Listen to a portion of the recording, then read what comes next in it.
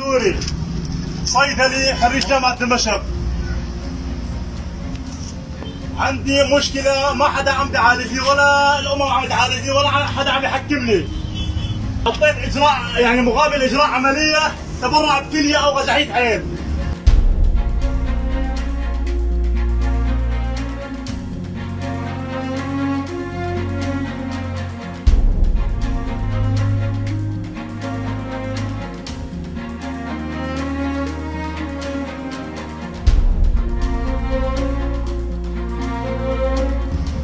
انه هذا الشيء غلط وحرام.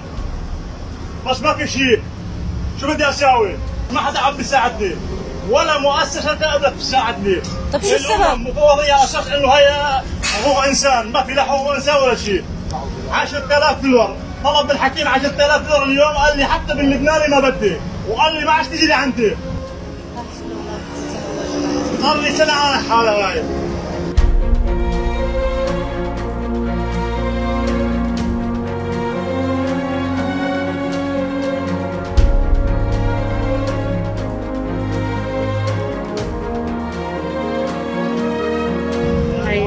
معتصمين واقفين هنيك